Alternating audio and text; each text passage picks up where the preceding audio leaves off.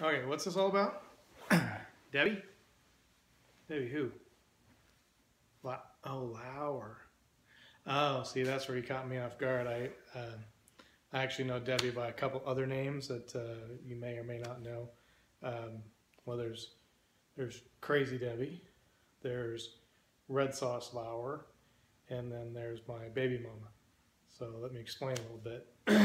um, one of the more poignant or pungent uh, memories I have of uh, Debbie is uh, that uh, she and Bill uh, went with Heather and I on a whitewater rafting trip uh, up in Central Oregon, and we all rode together. on the way up there, we had spent the night on halfway and had gone to dinner, and um, Debbie had had some some sort of pasta with red sauce in it, and after that, for kind of the rest of the trip, we we um, uh, we got to hear Debbie uh, expressing herself, if you will. She had the vapors.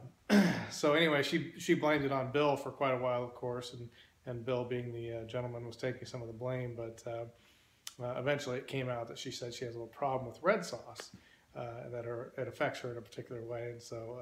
from then on out, anytime there was food around and Debbie was around, I'd ask Debbie to make sure she's checking for the red sauce. And of course, she is then red sauce Lauer. so the uh, the second one was uh, we'd had a party at our house um, uh, one year for one of the holidays. I don't know if it was Halloween or, or what, but uh, uh, Debbie came and um, introduced herself to our children. Uh, she had we'd not been working together that long, and she was kind of well known to do, she she engaged the children quite actively and. Um, uh, apparently, at some point in the evening, a WWE event broke out uh, between Debbie and uh, my youngest, Braden, and uh, one of the two got thrown through a closet door. Uh, and so, kind of to this day, you know, when we're talking about our friends and we say, you know, something that refers to Debbie, one of them may look at us quizzically and we say, Crazy Debbie. And they go, Oh, yeah, Crazy Debbie. I remember her. Right? So that's Crazy Debbie. Um, and then uh, after having the distinct pleasure of working with Debbie for uh, several years, uh, I got the opportunity. I was fortunate enough to receive a promotion to the Director of Business Affairs. Uh, you know, big job, big title. I was a very important person at that point. Uh, so a few months after I took my promotion, uh, I'm in my office and Halloween comes around and um, Debbie didn't have the uh, the good sense to stay on her side of the track or on uh, the correct side of professionalism uh, and good taste.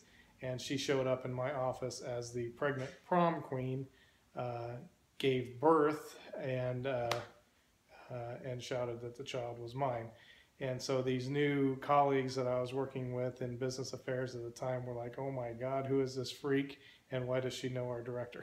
so uh, good times, good times. Anyway, so that's crazy Mama Debbie. Uh, Debbie. Um, but in all seriousness, uh, the one name that I haven't really referred to her to that I should have is probably uh, my best hire.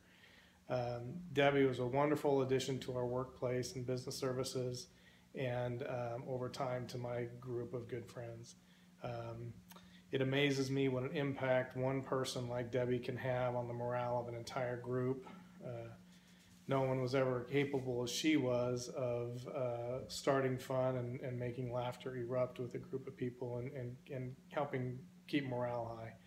Um, I'm 3,000 miles away and I can already feel how much she'll be missed there. Debbie, we love you.